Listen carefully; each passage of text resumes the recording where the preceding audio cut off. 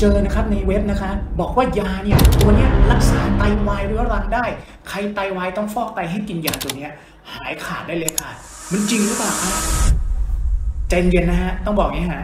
ไตวายเนี่ยนะครับมีอยู่ 2 แบบคือไตวายเฉียบพลันกับไตวายเรื้อรัง จะมีสาเหตุต่างๆ เช่น ภาวะช็อกติดเชื้อในกระแสเลือด พวกนี้เราแก้ต้นเหตุเนี่ย ท่านไม่ต้องกินยาสมุนไพรวิเศษพิสดารอะไรเนี่ย มันก็หายครับ มันก็จะกลับมาได้เหมือนเดิมนะครับ ไม่ต้องฟอกไตไปตลอดชีวิต แต่ถ้าเป็นไตวายเรื้อรังเนี่ย มันเกิดจากความเสื่อมของไต คือไตแก่นะครับ แล้วก็เขาเรียกว่าหมดอายุขัยไปนะครับ ไม่มีการทำงานเกิดขึ้น แบบนี้ต้องฟอกไต ซึ่งสามารถกลับมาได้ไหม ในประสบการณ์ของผมเนี่ย มีสักหนึ่งคนในพันคนน่ะอาจจะกลับจากฟอก